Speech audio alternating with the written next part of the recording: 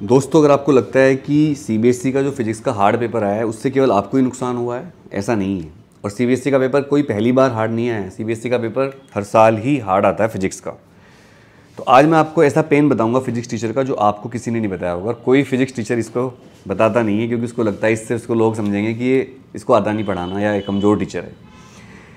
जब फिजिक्स का paper hard आता है तो उससे बच्चे तो अफेक्ट होते ही हैं। हालाँकि हार्ड आना कोई बुरी बात नहीं है सिलेबस ही आता है पेपर तो।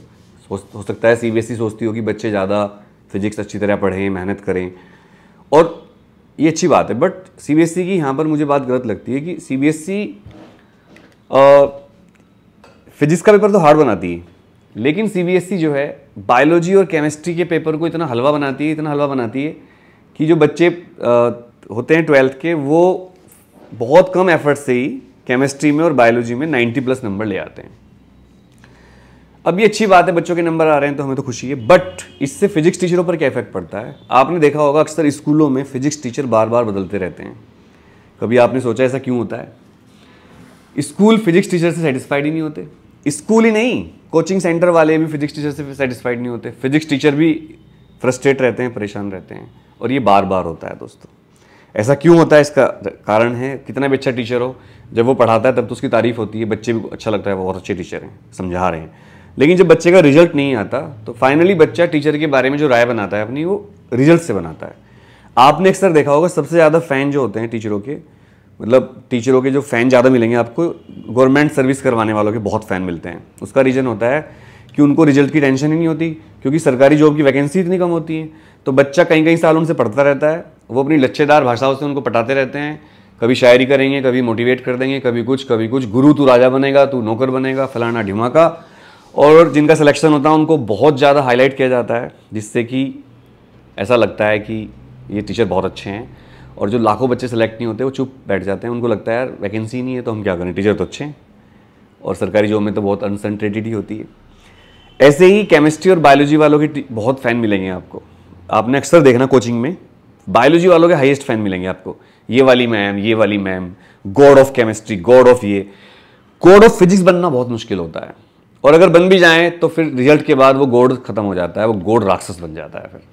ये बहुत बड़ी पेन बता रहा हूँ मैं आपको टीचरों को। इसको टीचर एक्सेप्ट नहीं करेंगे, लेकिन फिजिक्स वाले भी, क्योंकि उनको डर लगेगा इस बात से कि मैं बोलूँगा तो कहेंगे, तेरे तो पढ़ाना नहीं आता। तो सीबीएसई को ये सोचना चाहिए और एनटीए को भी कि जितना आप लेवल केमिस्ट्री का और बायोलॉजी का रखते हो, उतना या फिजिक्स का भी रखो, या तो सबको हार्ड करो, या सबको ईजी करो। ये नहीं कि आप फिजिक्स को इतना हार्ड कर देते हो और केमिस्ट्री में आप और बायोलॉजी में हलवा पेपर बना देते हो, चाहे वो नीट का हो जेई का हो या फिर सी का तो आप जानते ही हो केमिस्ट्री का पेपर बिल्कुल ही हलवा था। इसलिए मैंने कहा था कि इस साल जो बच्चा केमिस्ट्री में पास नहीं हुआ सी के पेपर में, वो कभी पास नहीं होगा फिर। क्योंकि इतना आसान पेपर सी ने बनाया, आप सोच नहीं सकते। फिजिक्स का पेपर मेरी मेमोरी में दस साल मुझे पढ़ाते हो गए one of the highest hard paper था सब वन ऑफ़ द नहीं हार्डेस्ट पेपर था इसलिए मैंने कहा था, ये बैच बहुत अनलक्की बैच है सी का। और अनलक्की है, इस बैच में ही पेपर हार्ड आया इतना ज़्यादा। इस बैच को ही बहुत सारे सिस्टम झेलने पड़े। इस बैच में बहुत सारे चेंज सीबीएसई ने किए अपने अंदर सिस्टम में।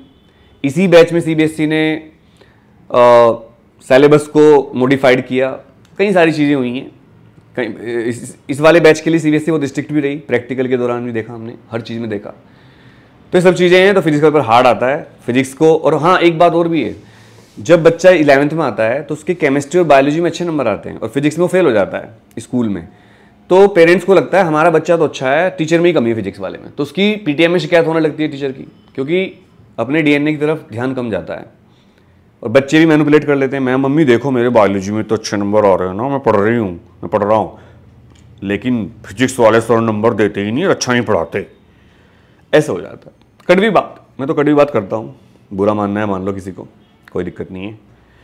सच बात ही, आप कभी भी बायोलॉजी और केमिस्ट्री के मार्क्स से फिजिक्स को कंपेयर ना करें और इसीलिए आपने देखा होगा जितने भी यूट्यूब चैनल हैं, जितने भी अटैक वो बायोलॉजी वाले टीचर को बहुत हाईलाइट करते हैं। उनको एक हीरो की तरह रिप्रेजेंट किया जाता है बायोलॉजी केमिस्ट्री वालों को, क्योंकि वो बच्चों को इजीली मैनेज कर लेते हैं।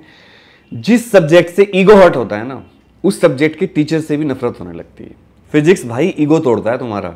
फिजिक्स तुम्हारी हालत खराब कर देता है। फिजिक्स तुम्हें औकात दिखाता है, तुम्हारी यहाँ हो तुम। लेकिन बायोलॉजी तुम्हें सिर पे बैठा लेती है केमिस्ट्री तुम्हें सिर पे बैठा लेती है और तुम्हें लगता है तुम हीरो हो, तुम मास्टर हो, तुम बहुत बड़े योद्धा हो पढ़ने के तो वो सब्जेक्ट भी अच्छा लगता है, उसके टीचर भी अच्छे लगते हैं। बात कड़वी है, माफ़ करिएगा। फिजिक्स में ज़्यादा मेहनत करिए फिजिक्स को ज़्यादा अच्छे टीचर से पढ़िए। और एक बात और कहूँगा मैं आपको, आप लोग सोचते हो कि यूट्यूब पे जो टीचर बहुत ज़्यादा कूद फान करते हैं वो फिजिक्स पढ़ा सकते हैं। जैसे मैं जब कहता हूँ, मैं नीट और आई की फिजिक्स पढ़ाता हूँ तो कई कमेंट आते हैं नीचे, अरे सर, आप बस बोर्ड पढ़ा लो। अरे भाई, मैं एमएससी हूँ फिजिक्स में। मास्टर डिग्री है मेरे पास। गोल्ड मेडलिस्ट हूँ मैं। मैंने बीएससी में फिजिक्स पढ़ी। मैंने एमएससी में फिजिक्स पढ़ी। बीएससी में तीन साल एमएससी में दो साल, फिजिक्स की बारह बारह बुक पढ़ी है मैंने। जो तुम चैप्टर पढ़ते हो ना, इनकी बुक्स थी हमारी पेपर थे। और जिन टीचर तुम पढ़ते हो बीटेक वालों से, वो केवल बारहवीं तक ही फिजिक्स पढ़ते हैं। मतलब जितनी फिजिक्स आपने पढ़ी, उतनी उन्होंने पढ़ी है। तो एक ये बनाया जा रहा है कि आईआईटी से कोई टीचर पढ़ लिया तो बहुत अच्छा टीचर होगा। ऐसा नहीं है भाई। They are technically not qualified to teach मैं ये नहीं कहता कोई अच्छा पढ़ाता है तो उसका सम्मान होना चाहिए। पर जो तुम उनके चक्कर में हमें इग्नोर करते हो ना, वो बहुत गलत बात है।